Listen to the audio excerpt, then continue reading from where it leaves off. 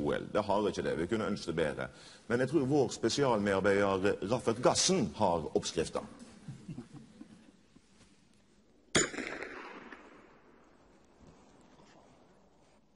Der gikk startskuddet, og det det dreier seg om, er selvfølgelig skiskyting. En idrett som kom til Norge til fulle i 1958.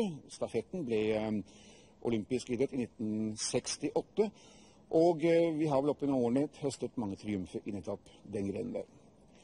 Men akkurat i år, Albertville-stafetten har vel ikke vært det de fleste av oss hadde håpet at den skulle bli. Her er det forandringer på gang, forslag som skal fremlegges for Den internasjonale olympiske komité, og vi gleder oss til å kunne vise det følgende. I all verdens navn. Det er hersens. Raffelgassen. Ja. Eh, skiskyting, dette her er litt uvant uvantet eh, transport. Ikke noe lenger for etter Raffert-metoden for moderne skiskyting. Hvorfor det? Skal uh, snøscootere eller annen moderne bekvem transport erstatte de hersens skia? Men nå har de jo ski på dem.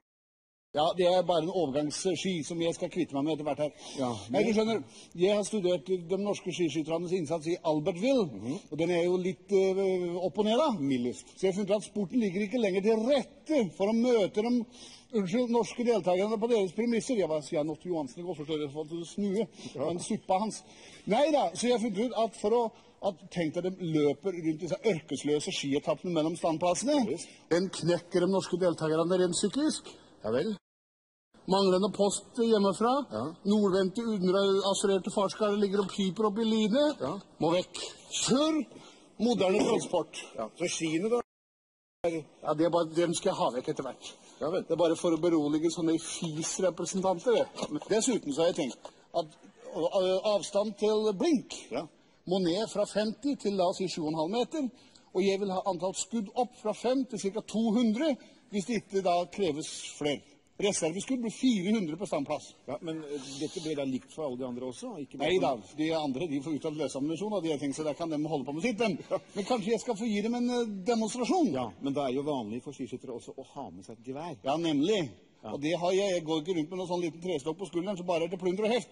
Jeg har et moderne maskingeværrede permanent oppsal her. Bare, skal vi se? Ja. Nå skal vi ta den, så. Her har vi greiene. Ja. Yes. Den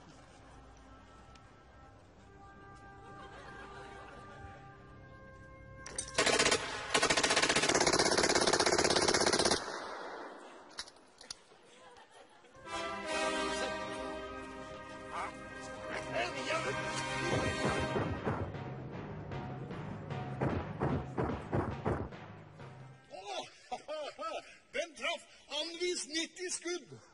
Artig. Oi, støtt meg bort her. Jeg er ikke så sterk som det ser ut som. Så, så vi får se her. For du ser at en toppidrettsmann, han trenger hvile og avkobling. Skål, du. Så da blir dette Da regner vi med at vi får se på Lillehammer i 94. Lillehammer, Lillehammer. Jeg tror jeg er naiv jeg gutt. Jeg er etter han til Barcelona i august, jeg. Vi sitter før! Skål igjen, du.